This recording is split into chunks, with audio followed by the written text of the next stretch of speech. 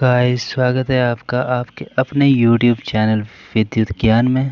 दोस्तों, आप लोग वीडियो तो देखते हैं, लेकिन वीडियो को एक लाइक और चैनल को सब्सक्राइब नहीं करते हैं।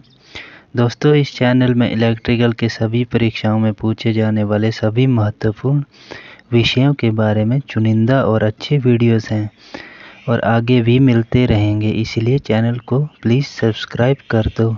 अब बात करते हैं इलेक्ट्रिक ट्रैक्शन विद्युत कर्षण होता क्या है?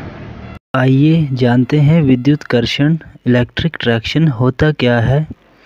और यह इलेक्ट्रिकल के सभी विद्यार्थियों के लिए इतना उपयोगी क्यों होता है? इसके बारे में परीक्षाओं में हर बार पूछा जाता है। इलेक्ट्रिकल ट्रैक्शन का मतलब यह रेलगाड़ी, ट्राम अथवा किसी अन्य प्रकार की गाड़ी को खींचने के लिए लगाए गए बल को विद्युत ट्रैक्शन कहते हैं।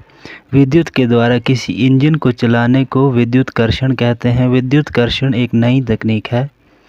इससे पहले भाप इंजनों का प्रयोग किया जाता था। इलेक्ट्रिक ट्रैक्शन के लाभ विद्युत कर्षण में नियंत्रण तथा गाड़ियों में अधिक वेग से संचालन होने के कारण यातायात में बहुत उपलब्धि हो सकती है और साथ ही कोयला, धुआँ अथवा हानिकारक गैस ना होने के कारण अधिक स्वच्छता रहती है।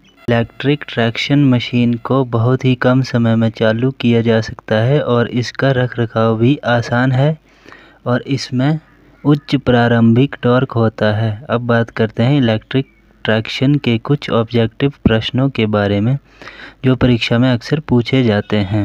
विद्युत कर्षण के पथ, विद्युतीकरण प्रणाली में सिंगल फ़ेज़ से तीन फ़ेज़ वाली संयुक्त प्रणाली को क्या कहा जाता है?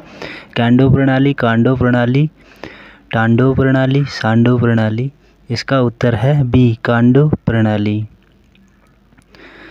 भारतीय रेलवे कितने वोल्ट पर चलती है? आंसर, भारतीय रेलवे 1925 में 1500 वोल्ट डीसी के साथ शुरुआत हुई थी, बाद में इसे बढ़ाकर 3000 वोल्ट डीसी कर दिया गया। गाइस, हमारा अगला प्रश्न है, पहियों के चलने के दौरान गति कम होने का क्या कारण है? ए स्लिप बी त्वरण सी पंप और डी हाइड्रोलिक्स। उत्तर ए, एग्जाम्पलेशन। इंजन में विकसित शक्ति अंत में पहियों या पटरियों को जाती है, जो कि ट्रैक्शन को बिना लोड या लोड के चलाती है। पहियों के चलने के दौरान कुछ फिसलन होती है, जिससे गति कम हो जाती है। तो हमारा आंसर इज़ ए, स्लिप होगा। दूसरा प्रश्न, ट्रैक्शन और यात्रा की दिशा कैसे संबंधित है? ट्रैक्शन यात्रा की दिशा में स्लिप है, ट्रैक्शन यात्रा की दिशा में बल है, ट्रैक्शन यात्रा की दिशा के बराबर है, ट्रैक्शन यात्रा के दिशा के व्युत क्रमानुपाती है। उत्तर बी ट्रैक्शन यात्रा की दिशा में बल है। ट्रैक्शन यात्रा की दिशा में बल है, ट्रैक्शन डिवाइस माध्यम द्वारा विकसित और वाहन में स्थानांतरित किया जाता है। इंजन में विकसित शक्ति अतः पहिए या पटरियों पर जाती है, जो ट्रैक्शन को बिना किसी भार के या भार के साथ ले जाते हैं। हमारा अगला क्वेश्चन ड्राइविंग व्हील के रबर टायर को जिस सतह पर वे यात्रा करते हैं, उनके बीच ट्रैक्टिव बल को निर्दिष्ट करने के लिए किस शब्द का उपयोग किया जाता है? रोलिंग प्रतिरोध क्रॉलर रिम्पल या व्हील स्लिप हमारा उत्तर है, रिम पुल एक शब्द है जिसका उपयोग ड्राइविंग व्हील के रबर टायरों और जिस सतह पर वह यात्रा करते हैं के बीच कर्षण बल को निर्दिष्ट करने के लिए किया जाता है। टायर फिसलन को ख़त्म करने के लिए कर्षण गुणांक काफ़ी अधिक होता है।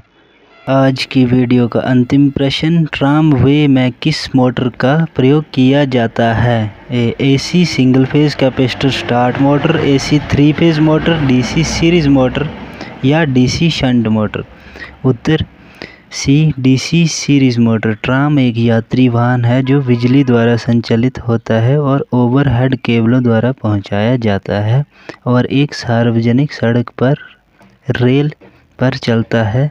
मोटर लोकोमोटिव के प्रकार और आवश्यक टॉर्क या ट्रैक्शन प्रयास पर निर्भर करता है। इसमें डीसी सीरीज़ मोटर का प्रयोग किया जाता है।